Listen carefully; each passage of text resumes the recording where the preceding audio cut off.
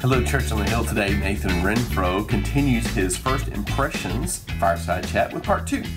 And I want to remind you that this weekend we will not be having services in person. The only people who will be uh, up at the church will be the cleaning team and the check in team. They will be doing the walkthrough and training so that we are being prepared to reopen soon. Uh, right now, the plan is to reopen on Mother's Day, May 10th, which is a week from Sunday. Uh, if you have any questions about our reopening plan, you can see it at the link at the bottom of the screen, and uh, you can watch our video announcement and know more about it. Also, this Sunday evening at 5 p.m., if you're interested in helping distribute some care packages to our senior adults, please show up at the church. You need to be sure to have a mask with you uh, so that we can keep our senior adults and those who are vulnerable, if you will, safe during this time. God bless you. I love you, and I hope to see you soon. Now, let's listen to Nathan. Hey, good morning, Church on the Hill family again. I wanted to welcome you to part two of the Fireside Chats. Um, First impressions. Uh, yesterday we talked about God and his first impression in Scripture, uh, how he created uh, the heavens and the earth, and uh, what that means during this time. Uh, I want to continue to talk to those that um, are struggling with finding work and employment, and uh, I want to encourage you not to become too stressed. Um, uh, keep it a concern, but take it to the Lord. And I just want to encourage you with uh, two scriptures today one out of Isaiah 42 and one out of Second Corinthians 5:17. Before we get started today, uh, let's pray. Dear Heavenly Father, we thank you for today. God, we thank you for what you continue to do. Lord, uh, I lift up those that are struggling uh, in their faith this morning, Lord. I pray that you would send a word uh, and send your Holy Spirit to just settle over them and calm their heart, calm their anxieties, uh, calm any frustration that they have, Lord.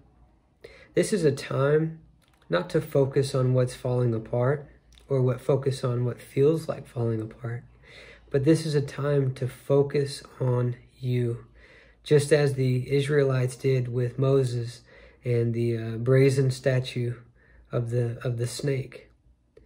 Uh, Lord, I, I, love that you are still using Old Testament scripture uh, in our current society. That uh, throughout hospitals and clinics uh, that are in hospitals and makeshift tents and uh, convention centers and in stadiums.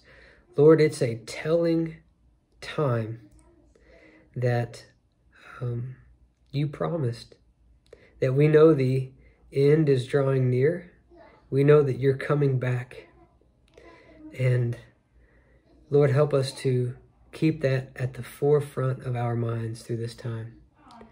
Uh, we love you and we thank you. Amen. All right, so let's get into it. Isaiah 42 9.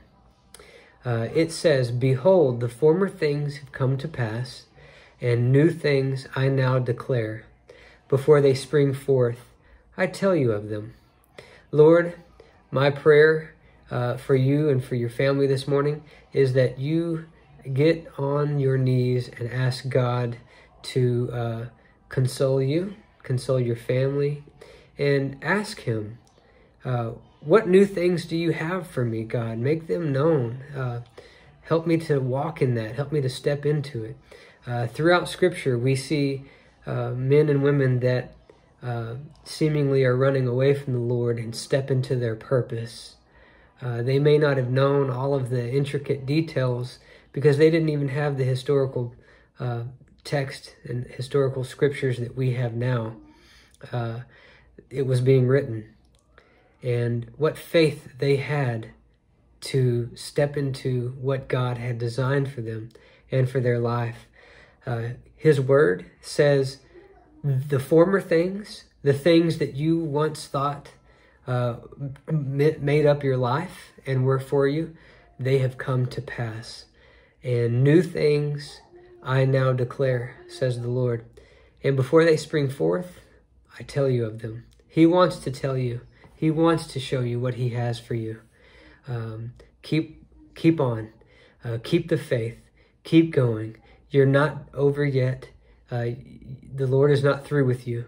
In 2 Corinthians 5:17, Paul uh, reminds us in the New Testament, therefore if anyone is in Christ, he's a new creation. The old things have passed away, and behold, the new has come. Are you ready for the new things to come that God has for you? Are you ready? Get ready, because here they come.